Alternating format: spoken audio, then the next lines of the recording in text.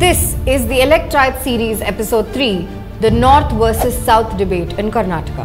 On the 25th of April, Chief Minister of Karnataka tweeted the following It may seem like a usual political jibe, however, the different actions and comments made by the Congress campaign headed by the Chief Minister point towards a more deeper and nuanced strategy.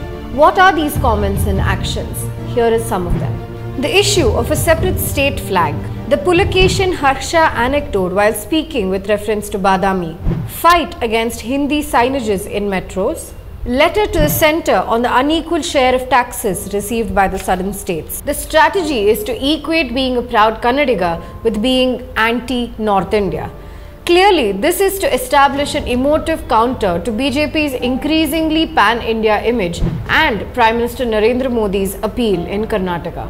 The most crucial of the comments made by Siddaramaiah is his claim that the southern richer states are unfairly subsidizing the poorer northern states. At the Elect Right series, we'd like to explore the veracity and accuracy of the claim made by Siddaramaiah in light of the upcoming Karnataka state election. Historically, the South has been subsidizing the North.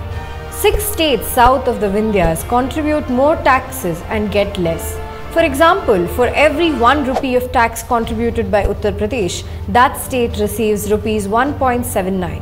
For every 1 rupee of tax contributed by Karnataka, the state receives rupees 0.47. While I recognize the need for correcting regional imbalances, where is the reward for development? First, let's look at an international comparison. The Indian experience of a few states shouldering the bulk of the fiscal burden is not uncommon. Countries like United States, United Kingdom, Switzerland, Germany continue to have a lopsided sharing of fiscal burden. State as a unit of analysis needs to be looked into.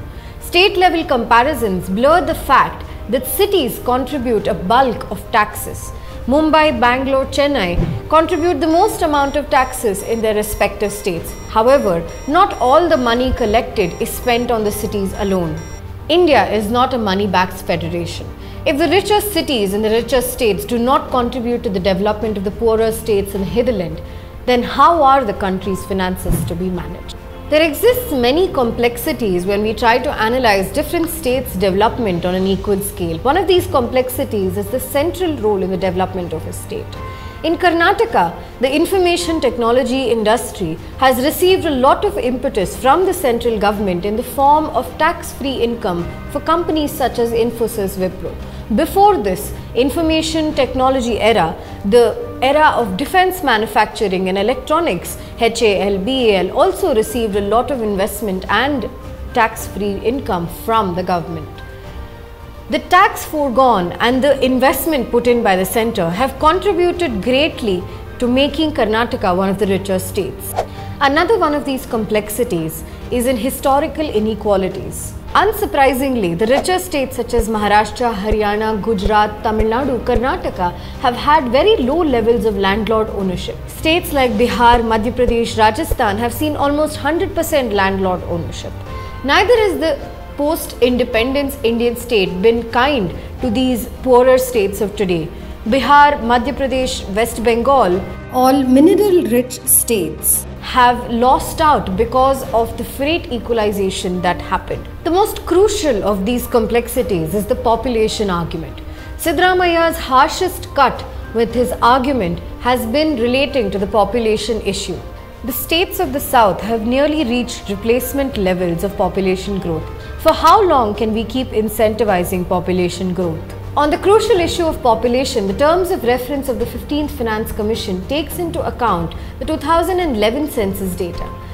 The terms of reference of the 14th Finance Commission took into account the 1971 census data. Keeping in mind this change, the southern states are up in arms saying that they will get less from the pool of central taxes. Arun Jaitley, the finance minister, has said that this is a needless controversy because the terms of reference for the 15th Finance Commission actually balances out the need to help out states with a larger population and provides incentives for progress under population control. Going back to Siddaramaiah's question as to how long, probably two to three decades. De- development is what brought replacement rate of population in southern states including Karnataka. The same is bound to happen in the Hindi belt. As Chief Minister of Karnataka, Siddaramaiah may be warranted in asking some of these questions. However, the timing and the method in which these questions have been posed to fit a larger political narrative, an anti North India narrative, definitely does not go unnoticed. Being one of the nations which have a lower tax base to population ratio, isn't it important now more than ever that we increase our tax base and ensure that every single citizen of our country, no matter where he lives, has access to a better quality of life? Isn't it that asking questions such as, does the richer South subsidize a poorer North? Aren't these questions detrimental to development itself? Share your thoughts on the comments section and stay tuned to Elect Right series from Swarajya.